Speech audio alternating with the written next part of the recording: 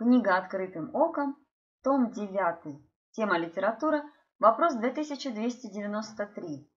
По каким признакам можно понять, к чему клонит автор своей книги?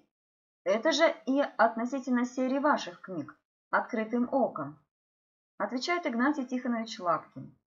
Действительно, иногда читаешь сектантскую литературу, и почти полкниги прочтешь, и кажется, что правильно все говорят. Но потом еретические рога полезут из всех углов. Неплохо видеть, чье благословение на книге, но это только для малоопытных. Иногда липовые благословения ставят, не показывая тому, кто росчерк дал на книге. Иногда и благословитель сам ничего не понимает в написанном. Если собрать все благословения патриарха сегодняшнего, то этих книг с его якобы подписью ему хватит еще на несколько жизней, чтобы прочитать их. Для более внимательного нужно знать содержание Библии и толкование ее по святым мужам православной церкви. Тогда почти безошибочно можешь рецензировать книжки, разгадывая смысл и замысел автора. Для наглядности приведу статистику по 22 словам, которые встречаются в девяти книгах открытым оком. Златоуст – 1012, Коммунист – 403, Жития – 1048, Священник – 2672, Поп – 716, Епископ – 1494, Библия – 3347, Евангелие 2333, проповедь 3940, благовестие. 1027, священное писание. 2445, патриарх. 1256, старообрядцы. 300, Московская патриархия. 300, зарубежная церковь. 291, Слово Господь 8762 раза. Завет. 1158. Монах 1524. Инок 1021. Честно, благочестие 3682. Иегова 454. Саваоф 244 раза.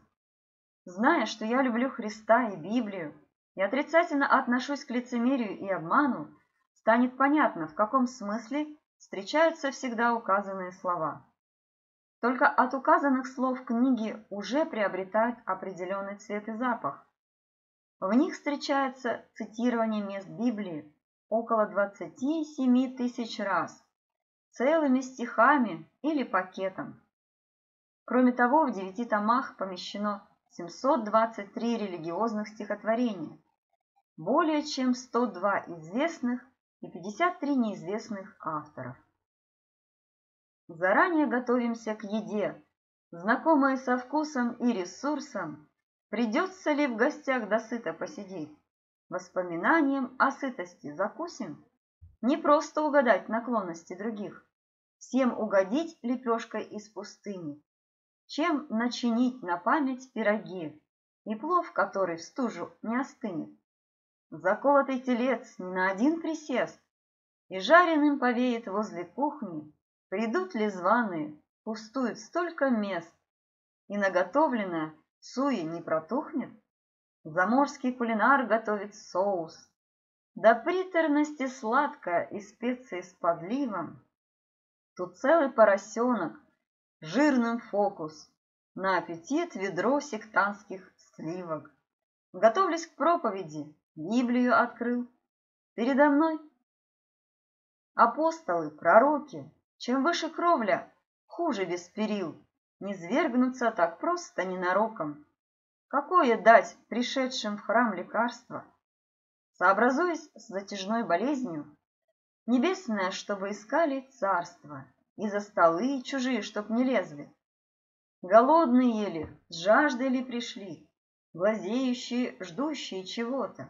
Мерещится им отдых и шашлык, а им вдруг перец до большой икоты.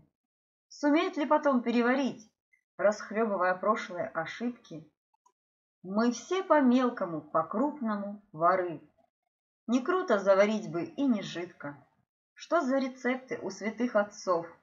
Как применить, сготовить не накали?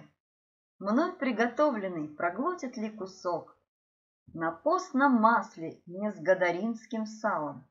10 июня 2004 год. Игнатий Лапкин.